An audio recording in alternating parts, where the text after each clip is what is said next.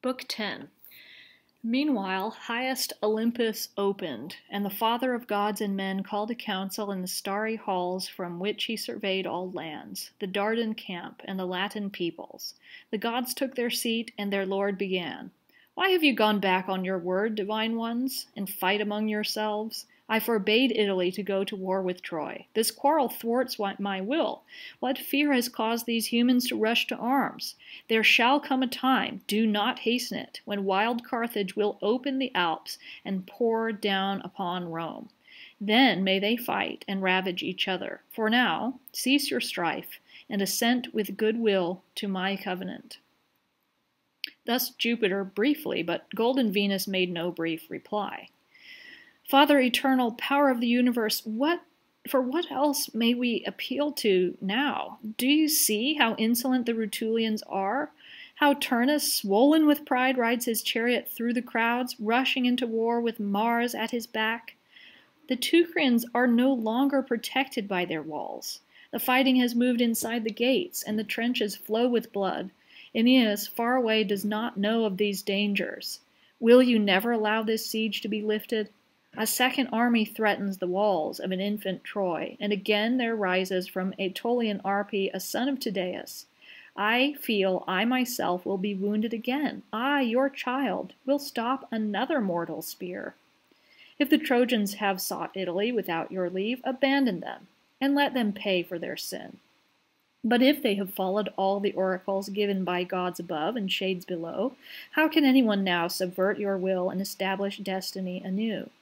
Why should I even mention the fleet burned on the shores of Eryx, or the storm stirred up by Aeolus, or Iris sent from the clouds? The fighting has moved inside the gates, and the trenches flow with blood. Aeneas, far away, does not know of these dangers. Will you never allow this siege to be lifted? A second army threatens the walls of an infant Troy, and again there rises from Aetolian Arpi a son of Tydeus, I feel I myself will be wounded again. I, your child, will stop another mortal spear. If the Trojans have sought Italy without your leave, abandon them and let them pay for their sin. But if they have followed all the oracles given by the gods above and shadows below, how can anyone now subvert your will and establish new destiny? Why should I even mention the fleet burned on the shores of Eryx, or the storm stirred up by Aeolus or Iris sent from the clouds? And now Juno is mobilizing hell, a sector of the universe as yet untried. And Allecto is turned loose on the upper world and raves through the cities of Italy. I no longer care about empire, my hope, while fortune still smiled. Let those win whom you want to win. If there is no country your hardened wife will allow the Trojans, then by the smoking ruins of Troy, I pray, let me at least withdraw Ascanius, father, unscathed from war. Let my grandson survive. Aeneas, yes, may be tossed on unknown seas and follow fortune's lead, but let me protect this child and rescue him from this terrible conflict. Amathus is mine, high Paphos and Cythera, a shrine in Idalia, he can live out his life there without weapons or glory. Let it be your grandson's decision, your grand decision that Carthage crush Italy. Nothing then would hinder the Tyrian cities. But what good has it done him to survive the war? Escape Greek fire, endure endless perils on land and sea, while his Teucrians sought to found a new Troy and Latium. Better to have settled on the dying ashes where Troy once stood. You might as well give them back their Simois and Xanthus, and let them suffer forever Ilium's sorrows. Then regal Juno, furious. Why do you force me to break my silence and tell the whole world my heart's deep sorrow? Did any man or god compel Aeneas to make war on the Latins? He sought Italy at the call of the fates. Yes, driven on by Cassandra's raving. Did I advise him to leave his camp or entrust his life to the winds? To put a boy in charge of their defenses at the height of war? to tamper with Etruscan loyalties or stir up peaceful nations to war? What god, what cruel power of mine undid Aeneas? Where is Juno in all of this, or Iris sent from the clouds? It is indeed monstrous that Italians are burning your infant Troy, and that Turnus has taken a stand in his native land, Turnus, a mere grandson of old Pilumnus, and whose mother is only the goddess Venilia. But what about the Trojans torching the Latin people and pillaging their fields, dragging a bride away from her betrothed, offering peace in one hand and arming ships with the other? You have the power to whisk Aeneas away from the Greeks and substitute empty mist for the man. You are as well perfectly capable of turning their ships into so many nymphs. But for us to help the Rutulians is disgraceful?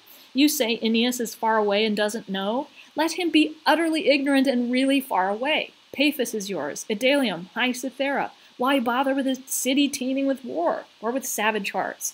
Is it because I am toppling the tottering Phrygian state? Is it I? Or is it he who dumped the Trojans right in front of the Greeks? What cause was there that Europe and Asia should rise up in arms and ravage their peace treaties in treachery? Was it I who led Paris, the Dardan adulterer, to rape Sparta? Did I arm the man and goad him on with lust? All this was you. It was then that you should have been afraid for your people. And now you come on late with your unjust complaints and petty bickering. Thus Juno's plea, and all the celestials murmured various assent, a sound like wind rising in the forest with whispers, with moans that tell the sailors a great storm is coming. Then the Father Almighty, the greatest power in the universe, begins, and as he speaks, the high house of the gods grows silent. Earth's foundations tremble. Still goes the air. The winds are hushed, and the high seas calmed.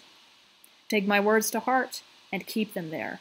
Since Ausonians and Teucrians cannot form an alliance, and your dissension has no end, I shall make no distinction between the hopes and fortunes of either Trojan or Rutulian, whether it be Italy's fortune that holds the camp or Troy's tragic error and false prophecies, nor do I absolve the Rutulians.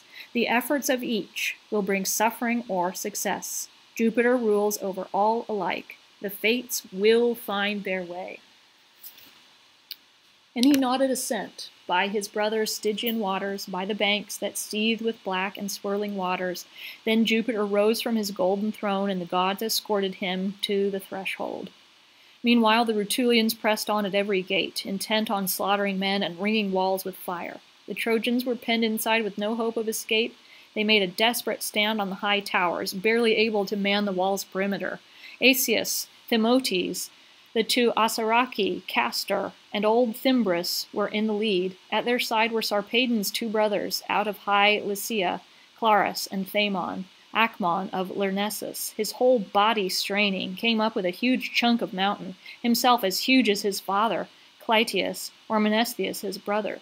They defended with spears and stones, notched arrows and fire.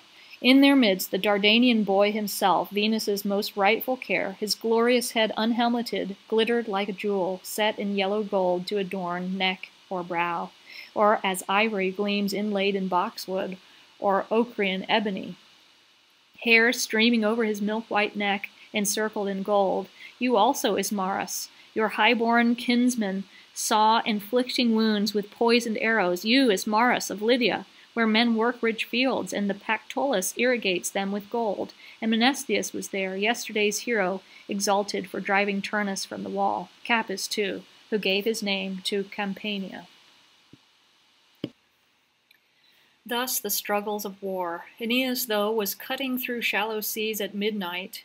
When he had left Evander and entered the Tuscan camp, he met the king and announced his name and race, what he sought, what he offered. And he informed the king of the forces Mezentius was recruiting, and of Turnus's violent heart. He spoke to him about the trust that could be placed in things human, and as he talked, he entreated. Without delay, Tarchon joined forces and struck an agreement. Freed from the prophecy, the Lydians boarded ship under divine ordinance and entrusted themselves to a foreign leader. Aeneas sailed in the flagship, Phrygian lions crouched under her beak. Above rose Ida, a sight most welcome to Trojan exiles. There sat great Aeneas, pondering the fortunes of war. And Pallas, staying close to his left, questioned him, now about the stars that guided them through the night, and now of his trials on land and sea. Now open, Helicon, muses, and chant the roll call of the men from Tuscan shores, who armed the ships and sailed with Aeneas. At their head, Massicus cut through the water in the bronze-plated tiger. A thousand men served under him, from Clusium and Cosae, armed with quivers of arrows and deadly bows. With him was Abas, whose entire contingent bore dazzling arms, and his ship gleamed with a gilded Apollo. To this grim general, Populonia had given six hundred warriors, and Ilvia three hundred, an island rich in the Chalybes' inexhaustible ore. Third came Asilas, the great interpreter between gods and men, a man to whom sacrificial entrails revealed their meaning, as did stars, bird song, and prophetic lightning. He hurried a thousand men to war in close formation, bristling with spears, men placed under his command by Pisa, a city born by the river Alpheus, but transplanted in Tuscany. Astur came next, second to none in looks, Astur who trusted his mount and flickering weapons. Three hundred men, all of one mind, followed him, whose homes were in Caere, in the plains of Minio, and in ancient Pyrgi, and who breathed the heavy air of Graviscae. Nor would I pass you by, Cuneris, bravest of the Ligurian warriors, or you, Cupavo, with your few followers, swan plumes on your crest, the insignia of his father's form, but a reproach to you, O God of love. For they say that Sinis, grieving for his beloved Phaethon was singing in the shade of his sister's poplars, and while he consoled his sorrow with music, whitened not with age, but downy plumage, and then left the earth, seeking the stars with his cry. Now his son, with a band of men his own age, rode the mighty centaur, a looming figure that threatened the war- water with a massive stone, while the ship's long keel furrowed the sea. Great Ocnus, too, marshaled an army from his native shores. He was the son of the seer Manto and the Tuscan river, and he gave you, Mantua, your city walls, and his mother's name, Mantua, rich in ancestry from many stocks, three races of men, each with four peoples, and she herself the mistress of all, with her strong Tuscan blood. From here, too, were the five hundred men Mezentius armed against himself, the river god Mincius, Benacus's son, crowned with gray sedge, captained them across the sea on their ships of war. And on came Aulestes ponderously, surging through the water on a hundred oars that churned the marble surface of the sea. His ship was the Triton, whose conch alarmed the indigo waves. The figurehead was a man with a shaggy chest, fronting the white caps, but turning into scales and fins below the waist. The water murmured under the half human form. And so these captains, with their thirty ships, sailed to Troy's aid, cutting the brine with bronze. Day had left the sky, and the gracious moon was treading mid heaven with steeds of the night. Aeneas, too anxious to sleep, sat at his post, manning the rudder and trimming the sails. Halfway across, a band of his own company met him in the waves, the nymphs whom Cybele had transformed from ships to cities, powers of the sea. They came swimming abreast, equal in number to the brazen keels, once moored to Latin shores. They recognized their king from far off and encircled him in a dance. The most eloquent of them, Cymodocea, swam behind the ship, grasped the stern with her right hand, and rose breast high while her left hand paddled the silent water. She spoke to Aeneas, who was caught by surprise. Are you awake, Aeneas, son of the gods? Wake, and haul in tight the sheets to the sails. We, pines from the sacred crest of Ida, now nymphs of the sea, were once your fleet. When the treacherous Rutulian attacked us with fire and sword, we reluctantly broke our mooring chains and have been seeking you over the sea. The great mother, out of pity, gave us this form and granted to us divinity beneath the waves. But your son Ascanius is hemmed in by wall and trench, surrounded by Latins bristling for war. Arcadian horsemen, joined by brave Etruscans, are in position.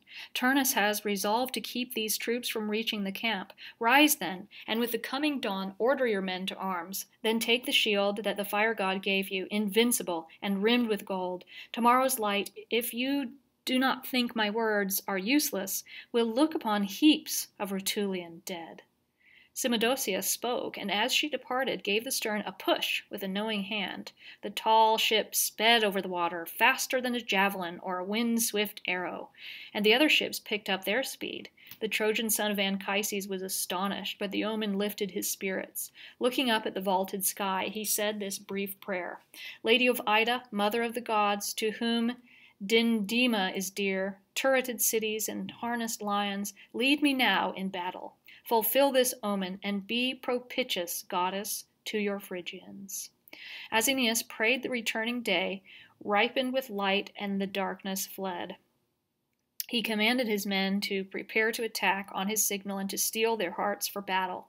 He stood on the high stern, and when he had the Trojan camp in sight, he lifted his shield high in the morning light.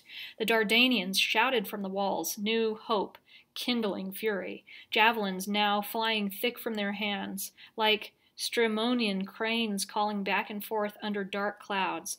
Their clamor pierces the air as they cry in triumph and ride the south winds. Turnus and the Ausonian captains did not know what to make of this until they saw sterns facing the shore and the whole sea crawling with ships. The apex of Aeneas's helmet shot flames into the sky, and his shield's golden boss was a radiant bolt of fire glowing. As a comet glows, blood red and baneful, in the dark, liquid night, or like Sirius rising, the star that brings drought and fever to men when it saddens the sky with its baleful light. But Turnus did not back off. Determined to seize the shore and drive the invaders into the sea, he raised his troops' courage with these scalding words this is what you have been praying for, men, the chance to break the enemy's ranks. The war is in your hands. Remember your wives, remember your homes and your ancestors' glory. We will engage the enemy in the surf while they're still unsure of their footing. Fortune favors the brave. As Turnus spoke, he decided who would lead the attack and whom he could trust to maintain the siege.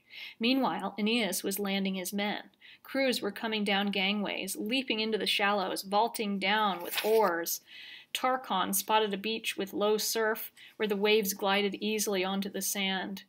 He made a quick decision, turned his prow, and implored his crews. Your elite troops, lean on those oars and ram these ships straight onto the shore. Cut the sands with the beaks and force the keels to plow up the beach. Shipwrecks don't matter once we're on land. Tarchon's men took him at his word. Pulling hard, backs arched, they drove their ships through the foam and onto the Latin fields. Most of them made it, their hulls coming to rest high on dry land. But not your ship, Tarchon.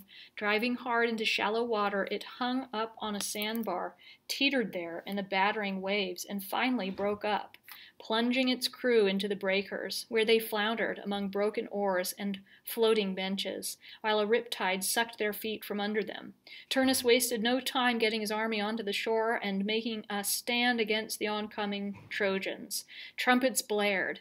Aeneas attacked first, charging the Latin ranks field hands mostly and raw recruits. He ran them over, an omen of what was to come, killing Theron, who more than other men itched to face the hero. Aeneas's sword found the seams in Theron's bronze armor, crunched through the shirt's stiff gold embroidery, and drank from his slashed side. Lycus was next, cut from his dead mother's womb. As a child, he was consecrated to you, Phoebus. Why did you let him escape? Steal as a baby, but not now. Aeneas moved on to Cisseus and giant Gyas, who were clubbing down troops. The weapons of Hercules could not help them now, nor their strong hands, nor their father Melampus, Hercules' companion during all his labors, leaving them dead. Aeneas launched a javelin at Pharos, who was strutting and boasting, and planted it in the man's bawling mouth. And you, poor Cydon, trailing after your new joy, Clytius, with his downy golden cheeks, you would have fallen under the Trojan's hand and lain on the ground most pitiably, forgetful of your love for boys. But your brothers, all seven of them, children of Phorcus, closed ranks around you and threw seven spears. Some glanced off Aeneas's helmet and shield, some Venus diverted, so that they only grazed the hero's body, who then called to Achates.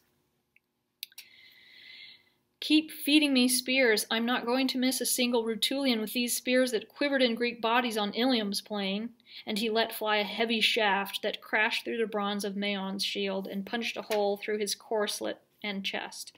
Maon's brother Alcanor came to his aid, supporting the fallen man with his right arm, which Aeneas' next spear immediately pierced. The spear kept going and completed its bloody course, leaving Alcanor to examine his own dead hand, dangling by sinews. Numitor, another brother, pulled the spear out and threw it at Aeneas, but his aim was off, and it grazed the thigh of great Achates. Now Clausus of Cures came to the front, confident in his strength, his youth. He hit Dry Ops under the chin with a hard throw at some range. The spear pierced his throat as he was speaking and robbed him of voice and life altogether. His forehead hit the ground and clotted blood spewed from his mouth. Clausus went on to kill three Thracians of Boreas's high race and three more far from their native Ismarus and their father Idas, dispatching each of them in different ways. Halaesus joined him, and Auruncan bands, as Messapus, descendant of Neptune, came driving up with his glorious horses. All of them fought to drive back the enemy in this battle on the very threshold of Italy. As clashing winds in the sky's great reaches rise to battle, matched in spirit and strength, and will not yield, nor will clouds or sea, but all nature is deadlocked in struggle, so too the Trojan and Latin ranks clash together in hand to hand combat. On another front, a river in torrent had strewn boulders and bushes torn from its banks across the debris. Pallas saw his Arcadians turn and run before the pursuing Latins. Pallas's men were not used to fighting on foot, and the terrain, roughened by the flood, had forced them this once to dismiss their horses. Pallas had only one hope left to use whatever words he could to restore their courage. Why are you running, my friends? I beg you, by your own brave deeds, by the name of Evander, by the wars you have won, and by my own hope, which rises to match my father's renown, do not put your trust in your feet. We have to hack our way through with swords. There, where the enemy is thickest, is where your country calls you, with Pallas at your head. We are not fighting gods. We are mortals under attack by mortals. We have as many lives and hands as they do. And now we have the ocean at our backs, the barrier of the sea and no more land. Should we run across the sea all the way to Troy? Pallas spoke and charged into the enemy lines. The first man unlucky enough to cross his path was Lagus, who was trying to uproot a stone of considerable weight. Pallas's spear went into his spine just below the rib cage. He pulled the spear out from the bones, where it stuck, and was ready for his bow, who failed to take him by surprise, although this was his hope. As he rushed in from above, hell bent with rage at his companion's death, Pallas buried a sword in his wheezing lungs. He got Sthenius next, and Anchemolus of Rhoetus's ancient line, a man who had dared to sleep with his stepmother. And you too, Larides and Thymber, twin sons of Daucus, fell on the Rutulian plain. As boys, you were indistinguishable from each other, a sweet perplexity to your parents. But Pallas made you easy to tell apart, lopping off your head, Thymber, with Evander's sword, while your severed hand longed for you, Larides, its dying fingers shifting their grip on your sword. The spectacle of these glorious deeds shamed the Arcadians into battle, but Pallas was not done. His spear caught Rhoetus as he was flying past in his chariot, a chance shot, but a reprieve for Ilus, whom Pallas had lined up with his long, hard throw. Rhoetus intercepted the spear in his flight. From you, noble Teuthras, and your brother Teres, and rolled from his chariot, heels kicking the Rutulian fields in death. Summer winds, the shepherd has hoped for begin to rise, and he sets fires here and there in the woods. Suddenly the spaces between are ablaze, and when Vulcan's battle lines have spread across the fields, the shepherd smiles as he sits and watches the reveling flames. So too your soldiers' valor converged, to your joy, Pallas. Halaesus countered them, collecting himself behind his shield, this bold warrior brought down Ladon, Pheres, and Demodocus, sliced off Strymonius's hand with bright steel, and smashed in Thoas's face with stone, scrambling the bones with blood and brains. Halaesus's father, prophesying his fate, had hidden the boy in the woods. Later, when his hollow, ancient eyes closed in death, the fates laid their hands on Halaesus and marked him out for Arcadian spears. Pallas went after him, praying first, Father Tiber, grant to this iron which I am about to throw safe passage through Halaesus's ribs. Your oak will hold this weapon and the hero's spoils. The god heard this prayer, while Halaesus shielded Imaon he left his own chest exposed to the Arcadian spear. Lausus, a major part of the Rutulian offensive, did not allow his troops to be panicked by Pallas's killing streak. His first move was to cut down Abas, a node of the battle. And then more youth of Arcadia began to fall. Etruscans fell, and you Trojans too, you whose bodies the Greeks had not destroyed. The armies closed on each other, closely matched, rear guard, crowding front lines so close The armies closed in on each other, closely matched, rear guard, crowding front lines so close the soldiers could not lift their weapons. On one side, Pallas pressed forward, strains confronted by Lausus, the young heroes nearly equal in age, handsome beyond all, neither destined to return to his homeland. But the Lord of Olympus did not permit them to meet face to face. Each was fated to fall soon to a greater adversary. Turnus had a sister, the nymph Juturna, who warned him now to bring aid to Lausus. The hero split the ranks with his swift chariot and called to his men. Stand down from battle. Pallas is mine, and mine alone. I only wish his father could watch. When Turnus said this, his men withdrew, and Pallas stood there, marveling at this arrogant command, amazed at Turnus.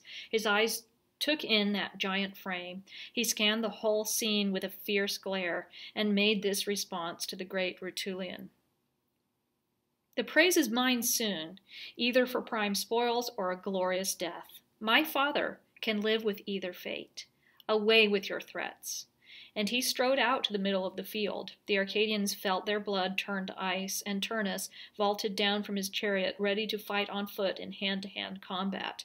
A lion, poised on a high vantage point, has caught sight of a bull, medit- meditating battle and charges. This was how Turnus charged. When Pallas thought he was within spear range, he began his own charge, hoping to balance this mismatch in strength with daring and luck, and he prayed to bright heaven. I beseech you, Hercules, by the welcome you received in my father's house, come to me now and help me in my need. Let Turnus see me strip the bloody armor from his dying limbs, victorious over him as his eyes close in death. Hercules heard the boy's prayer and stifled a heavy groan, shedding useless tears. Jupiter addressed his son with fatherly words. Each has his own day. Brief is the time and irretrievable the life of every man. Yet, to lengthen fame by deeds is the task of valor. Under Troy's high walls fell many sons of gods, my Sarpedon among them. Fate calls Turnus too, and he has reached the end of his allotted years. Thus Jove, who then turned his eyes from the Rutulian fields. Pallas, threw his spear with all his strength, and his sword flashed from its sheath. The spear flew on and struck the top edge of Turnus's shield, forced its way through and nicked his shoulder. Turnus shrugged and balanced his spear for what seemed an eternity. When he threw the iron-tipped oak at Pallas, he said, "See if my spear goes in farther." No sooner spoken than the spear point slashed through the center of Pallas's shield with all its layers of iron, of bronze, all the folds of oxide, and then pierced his corslet and burrowed into his chest. Pallas pulled the warm shaft out, but with it came his blood and his life. He fell onto the wound, armor clattering, and his bloody mouth struck the hostile earth. He was dying when Turnus, standing above him, said, Remember, Arcadians, to bring my words to Evander. I send him the palace he deserves, the honor of a tomb, the solace of burial, I freely grant, but he will pay dearly for welcoming Aeneas. Turnus spoke, and bracing his left foot on Pallas's corpse, he tore away the massive belt engraved with crime. The sons of Aegyptus murdered by Daunus's Danaus's daughters on their nuptial night, the rooms reeking with blood, the work of Clonus, son of Eurytus, who chased it in gold. Turnus now exulted in this belt and gloried in its possession. The mind of man knows neither fate nor future doom, nor moderation when elated by fortune. The hour will come when Turnus will wish he had paid handsomely for an unharmed Pallas, and will curse the day he won those spoils. But now Pallas was surrounded by his friends, moaning and weeping as they bore him back, lying on his shield. O Pallas, you will go home to your father a great grief and great glory. This day brought you to war and took you from it, yet you left behind mounds of Rutulians dead. It was no vague rumor of disaster that reached Aeneas, but sure intelligence that his men were inches from death, and that it was time to rescue the Teucrians. He mowed down everything before him with his sword, burning a broad path through the enemy, seeking you, Turnus, flush with slaughter. Pallas, Evander, everything swam in Aeneas's eyes. The table he came to as a stranger, the right hands pledged, four youths, sons of Sulmo, and four of Ufens, he took alive to sacrifice them to the shades and pour their blood on the funeral flames. Then he took aim at Magus, who ducked as the spear trembled through the air above him. Then he fell in supplication at Aeneas's knees. By your father's ghost and by your hopes for growing Iulus, spare my life for my own son and father. Buried deep inside my high house lie talents of chased silver, masses of gold, wrought and unwrought. Troy's victory does not turn on me. One life won't matter. He spoke, and Aeneas answered him, You can save all that silver and gold for your sons. Turnus did away with such traffic in war when he took Pallas's life. This is the judgment of my father's spirit, of great Anchises, and of Iulus my son. With these words he grasped Magus's helmet with his left hand, and, bending back the suppliant's neck, buried the sword up to its hilt. Close by was Haemonides, priest of Phoebus and Trivia, head bound with a sacred band, shining in white robes and gleaming armor armor, Aeneas drove him over the plain, and when the priest fell, bestrided the body and slaughtered it in his own great shadow. Serestus gathered up the armor and carried it off, a trophy for Mars, who walked the lanes of war. Caeculus, born of Vulcan's race, and Umbro from the Marsian hills filled in the ranks. The Trojan attacked furiously. His sword had already severed Anxur's left arm, which fell to the ground along with his shield. Angzer had been talking big and hoped his strength would match his words, or perhaps he was just raising his spirits and had promised himself a ripe old age when Tarquitus, strutting in gleaming arms, crossed paths with Aeneas. The nymph Dryope had borne this man to Faunus, who haunts the woods. The Trojan pinned his heavy shield and corslet together with a hard spear cast, and as the boy tried to get some words of supplication out, he sent his head whirling to the ground. Then, as he rolled the warm torso over, he said in a voice without a trace of pity, Lie there, you hulk! Your sweet mother will never heap earth above you back home in your country. No, you will be left here for the vultures, or thrown into the sea, rolled by waves, and hungry fish will nibble at your wounds. He caught Leucus and Antaeus next, two of Turnus's front line men, and brave Numa, and blond Camers, son of noble Volscens, the richest man in all Ausonia, and ruler of silent Amyclae. Aegaeon, men say, had a hundred arms, a hundred hands, and shot flames from fifty mouths and chests, when against Jove's thunder he clanged fifty shields and drew as many swords. So Aeneas, in triumph, savaged the field, once his blade grew warm. Even the horses that pulled Niphaeus' chariot, when they saw the hero advancing in his rage, turned in terror, spilling their master as they raced for the shore. Meanwhile, Lucagus and his brother Liger entered the combat zone in a chariot drawn by two white horses, Liger handling the reins, Lucagus swinging a sword. Aeneas took exception to their ardor for battle and bore down on the duo, towering above them as he pumped his spear. Liger spoke. These aren't Diomedes' horses you see, or Achilles' chariot, or the plains of Troy. Your war and your life now end in this land. Insane words from Liger, but Aeneas responded with no words at all he let his javelin fly. And as Lucagus leaned forward with his foot, with his sword, stepping into the stroke with his left foot, the point came through the lower rim of his shield and punctured his left groin. He rolled to the ground, dying, while loyal Aeneas offered him bitter words. Your horses didn't shy, Lucagus or run from a shadow. No, you made a flying leap and deserted your team and he seized the horses as Lucagus' brother bailed out and stood, a picture of misery, with outstretched hands. By the Trojan hero that you are, and by the parents who bore such a son, spare this life and have pity on a suppliant. He had more to say, but Aeneas, that's not what you said before. Now die with your brother. And Aeneas' sword laid bare Liger's soul. Such were the deaths the Dardanian leader left in his wake, raging like a torrent or a black whirlwind over the plain. At long last, Ascanius and the besieged Trojans burst from the camp and left it behind. Jupiter now turned to Juno and said, Dearest sister and wife, You were clearly right when you said Venus alone sustains the Trojans and not their own right hand alive to war or their brave hearts enduring of peril.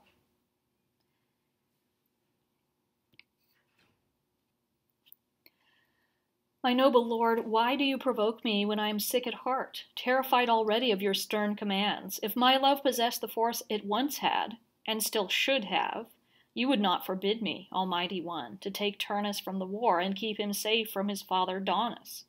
For his father Daunus. As it is, let him perish, and pay the Trojans with his innocent blood. And yet his name is of our lineage, for Pilumnus sired him four generations back, and he has been generous in heaping your temple threshold with gifts. The Lord of Olympus briefly replied, If you are requesting a reprieve from death for this doomed youth, in complete awareness it is a respite only, with no further illusions. Take Turnus away from fate and doom. There is this much room for indulgence. However, if your prayers conceal an ulterior motive, and you think the course of the war can be changed, you are badly mistaken. And Juno weeping, What if you were to grant with your heart what you cannot bear to say, and Turnus's life were assured? Now doom is upon this guiltless man, if I am in my right mind. Oh, I would rather be deluded by a baseless fear, and you, who can, change your mind for the better. Juno said these things and launched herself down from high heaven, robed in clouds, driving storms before her. She sought and found Ilium's army and the camp at Laurentum. Then the goddess fashioned a phantom out of mist and shadow, a strengthless image of Aeneas, and she counterfeited Trojan weapons, a shield and a plumed helmet for this wondrous apparition. Then she gave it empty words, a voice without thought, and an imitation of Aeneas's gait. It was like the flitting shapes of the dead, or dreams that mock the slumbering mind. The phantom stalked the front ranks, exultant, and defied the enemy to come forth and fight. Turnus attacked it, hurling a spear that hissed through the air, and the phantom turned, showing its back. Turnus thought he had Aeneas on the run, and, drunk on empty hope, he shouted, where are you going, Aeneas? Don't run out on your marriage. Come here. This right hand will give you the land you sought through the seas. With cries like this he gave chase, brandishing his drawn blade, and did not see that the winds were blowing his joy away. Moored to a rock ledge stood the ship that Osinius had sailed from Clusium, ladders down and gangway in place. The phantom of a terrified, fleeing Aeneas hurried onto this ship to hide, and Turnus, not a step slower, followed aboard. Taking the gangway in a single stride, he had barely touched the prow when Juno snapped the cable, sweeping the unmoored ship out with the tide. The phantom hid no longer, but soared high to blend with a dark thunderhead. While Aeneas was challenging his absent foe and dealing death to all who crossed his path, the gale carried Turnus far out to sea. Ignorant of how things stood and ungrateful for his reprieve, he looked back toward shore and, lifting his hands to heaven, prayed. Almighty Father, am I so unworthy, and is it your will I be punished like this? Where am I bound? What path is taking me? If this is me so far from home, where have I come from? Will I see the walls of Laurentium again? What about the men who followed me to war? I have abandoned them all, a disgrace beyond words, to an ignominious death. I see them scattered now, hear their groans as they fall. What can I do? How could the earth gape deep enough for me? Winds, take pity on me, and drive this ship aground on a reef. I implore you, push it onto a shoal, where neither the Rutulians nor Rumor herself will ever know my shame. As Turnus said these things, his mind rocked back and forth. Should he, because of his disgrace, impale himself on his pitiless sword, or drive into the waves and swim to shore to fight the Trojans again? He tried each way, three times, and three times great Juno held him back, restraining him in heartfelt pity. He glided on, cutting through the waves, and the tide bore him back to his ancestral city. Jupiter now prompted fiery Mezentius to take the battle to the jubilant Trojans. But it was the Tyrrhenians who responded, focusing all their hatred and all their weapons on this one man. He took it all, like a high cliff that juts out into the ocean, exposed to the wind's fury and the pounding surf, enduring all the menace of sea and sky, but motionless itself. So too Mezentius, as he laid out on the ground, Hebrus, son of Dolichaon, and with him Latagus, and Palmus, a man fast on his feet. Latagus he caught full in the face and mouth with a huge slab of granite. Palmus, though, he hamstrung and left him writhing slowly, while he gave his armor to Lausus his son, along with the plumes to fix on his helmet. Evanthes was next, the Phrygian, and Mimas, the same age as Paris, and his constant shadow when they were boys. Theano bore him to Amycus on the very night that Hecuba, pregnant with a firebrand, gave birth to Paris. Paris now sleeps in his ancestral city, and Mimas rests in an unmarked grave on Laurentium's shore. When a boar driven from a mountain by dogs, it has lived for years on piny Vesulus, or has fed on reeds in the Laurentine marsh, reaches the hunter's nets, it halts and snorts and raises its hackles. No one has the courage to come near enough to vent his rage, so they throw their javelins and shout at it from a safe distance. The boar is undaunted and turns in all directions, gnashing its teeth as it shakes off the javelins stuck in its back. Just so, none of those who harbored righteous rage had courage enough to draw a sword and face Mezentius, preferring instead to launch spears and insults from a safe distance. Acron, a Greek, had come from ancient Corythus, leaving his home and an unfinished wedding. Mezentius saw him, wrecking battalions, helmets, crest shining with his bride's purple. A lion that has not fed will range the deep woods mad with hunger until he spots a timid roe or an antlered stag. Mouth agape in exultation, mane bristling, he crouches intently over the warm viscera. A foul gore bathes his cruel jaws. So too Mezentius, charging into the massed enemy ranks. Acron had no chance. He went down hard, hammering the black earth with his heels. His splintered spear dyed red with his blood. This put Orodes on the run. Mezentius, disdaining a cheap shot from the rear, caught up with Orodes and faced him man to man, besting him not with stealth but superior strength. Then he planted his foot on the body, and straining to pull out his spear, he cried to his troops, Great Orodes is down, men! No small part of the war! Shouting in unison, his men raised the victory cry. But Orodes, breathing his last, said, I shall not die unavenged, and you, whoever you are, will not celebrate long. The same fate awaits you. You too will soon lie dead in these fields. And Mezentius, with a sneering smile, Now die. As for me, the Lord of gods and men will see to my fate. And he pulled the spear out. Iron slumber pressed hard on Orodes' eyes, and their light faded into everlasting night. Now Caedicus cut down Alcathus, Sacrator killed Hydaspes, Rapo, Parthenius, and tough Orses, Messapus both Clonius and Lycaon's son Ericetes, the former as he sprawled on the ground unhorsed, the latter as he advanced on foot. Agis uh, Lycaon also advanced on foot, but was struck down by Valerus, who had his ancestors' valor. Salius killed Thronius and was killed by Nealces, a good man with both a spear and a bow. Stern Mars balanced the suffering and death. Men on both sides killed and were killed, victor and vanquished, and neither side yielded. Looking down from the high halls of Jove, Venus, sitting across from Saturnian Juno, the gods pitied the senseless passion of men, while pale Tisiphone, the Fury, raged among thousands. Still Mezentius, pumping his huge spear, stormed across the plain. Think of great Orion stalking on foot the deeps of Nereus, plowing through the water, shoulders above the waves, or hefting a mountain ash, his feet treading the earth, his head shrouded in clouds. So too Mezentius, gigantic in armor. Aeneas, spotting him in the distance, closed ground quickly. Mezentius waited for his noble opponent, standing unperturbed in his immovable bulk. His eyes measured the space between them, and when Aeneas was in range, he said, May this right hand, which is my God, and this spear, which I am about to throw, come through for me now. Lausus, you yourself, clad in the spoils torn from that robber's corpse, will be my trophy over Aeneas. He spoke and let fly. The spear hissed through the air, and glancing off Aeneas's shield, pierced Antores under his ribs. Noble Antores, an Argive companion of Hercules, who had joined Evander and settled in an Italian town. Now he lay dying, with a wound meant for another, gazing at the sky and remembering sweet Argos. Then Aeneas threw. The hero's spear punched through the curved shield's triple bronze, through the inwoven linen and oxhide layers, and losing speed, struck low in the groin. Aeneas was glad to see the Tuscan's blood, and, drawing his sword, moved in eagerly on an anxious Mezentius. Lausus, watching, groaned deeply for love of his father, and tears rolled down his face. Neither your death nor your heroic deeds of antiquity can confer belief in prowess so great, nor you yourself, noble young man, so worthy of memory, will I leave in silence.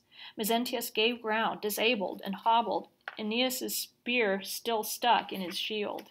His son ran into the space between them, hurling himself into battle, and just as Aeneas brought his sword sweeping down, Lausus parried the blade from below and held the hero in check. His comrades came up from behind with loud cries and held off the enemy with a hail of missiles until the father, under the protection of the son's shield, could make his good retreat. Aeneas raged, but took cover.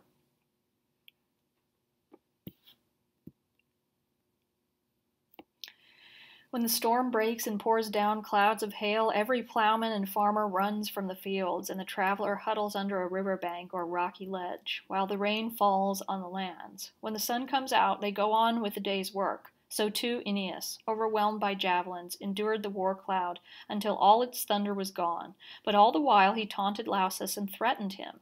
You're headed for death, Lausus. Why rush it by daring what's beyond your strength? Your filial devotion is blinding you. But Lausus was much too wound up to think, and now the Dardanian leader's rage was mounting higher, and the fates gathered up the last threads of Lausus's life. Aeneas drove his sword straight through the young body he faced and up to the hilt, the point piercing the shield, far too fragile to counter his threat. And the tunic his mother had woven of soft gold threads, blood filled his chest. His soul left his body and sighed through the air to the shades below. When Anchises' son looked on his dying face, so strangely pale, he groaned in pity and stretched out his hand. There shone in that face the image of his own devotion to Anchises. For all his sense of duty, what now, poor boy, can Aeneas give you for such glorious deeds?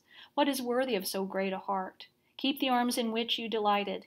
And if it matters to you now, I commit you to the spirits and ashes of your ancestors, and may this comfort you in death's sadness. You fell by the hand of the great Aeneas. Then he scolded Lausus' men for hanging back and lifted their prince from the ground, where blood was fouling his finely bound hair. Meanwhile, his father was washing his wound on the Tiber's bank, leaning back on a tree trunk. His bronze helmet hung from a branch near by and his helmet ar- heavy arms were at rest on the grass. His men stood around him as he gasped for breath and tried to ease his sore neck. His combed beard flowed down on his chest. He asked for Lausus over and over, and sent messengers to call him back and deliver the commands of his despondent father. But Lausus's men were bearing him back on his armor, dead, a great warrior undone by a mighty wound. They wept as they came, and Mezentius's foreboding heart knew their wail from afar. He defiled his white hair with dust, lifted his hands to heaven, and clinging to the corpse. Was life so sweet to me, son, that I let you face the enemy in my place, you whom I begot? Am I your father, saved by your wounds, alive through your death? On now at last the bitterness of exile comes home to me. The wound is driven deep. I have stained your good name my son, with my guilt, I, driven by resentment from the throne and scepter of my fathers. The penalty I owe my native land and bitter countrymen is overdue. I should have given up my guilty life, through any kind of death. Now I still live, and have not yet left the light of day, but leave I will. As he spoke, he raised himself on his injured leg, and though slowed by his wound, he held his head high and called for his horse his pride and solace, on which he rode, victorious from every battle. Now he spoke to the grieving creature words such as these Rhaebus, We have lived long, if anything lasts long for mortals. Today, either you will bear off Aeneas's head and bloody spoils and avenge me, the suffering of Lausus, or, if we cannot find our way through force, you will die with me. For I do not think, my brave one, that you would endure a stranger's orders or a Trojan lord. He spoke, mounted, and settled into position, loading both hands with whetted javelins. His head glittered with bronze and bristled with horsehair crests as he galloped off into the thick of battle, his heart a seething mass of shame and of grief, verging on madness. Three times his voice boomed out, Aeneas! Aeneas knew the voice, and filled with joy he prayed, May the Father of the gods and Apollo on high make this happen. It's your move, Mezentius. Having said this, Aeneas move forward with leveled spear. But Mezentius, my son's gone, and you try to frighten me? You murderer! This was the only way you could destroy me. We do not fear death, nor do we hold back for the gods. Break it off. I come to die. But first, I have these gifts for you. He spoke and let fly with a javelin, then wheeling in a circle hit home with another and another. But the shield's heavy gold withstood them all. Three times he rode around a standing Aeneas, launching javelins as he circled to the left. Three times the Trojan pivoted around with a forest of spears on his shield's bronze skin. Then, weary of prolonging the fight and of plucking out javelins and feeling the heat of this unequal combat, he considered his options and struck suddenly hurling his spear squarely between the war horse's temples. The great stallion reared, pawing the air. He threw his rider, and then, falling himself, hit the ground headfirst, disjoining his shoulder and entangling Mezentius. The Trojans and Latins lit up the sky with their cries. Aeneas ran up, drew his sword, and standing over him, cried, You're not so tough now, are you, Mezentius? The Tuscan lifted his eyes, drank in the bright air, and when he had recovered his senses, answered, Bitter enemy, why do you taunt me and threaten me with death? Killing me is no sin. I did not come into battle for a truce. My Lausus did not seal such a pact between me and you. I ask only one thing. If the vanquished have any claim to clemency, let my body be covered by earth. I know my people's hatred surrounds me. Guard me from their rage. Let me join my son in the tomb. Mezentius said these things and did not flinch when the sword entered his throat and his life sluiced out in streams of blood.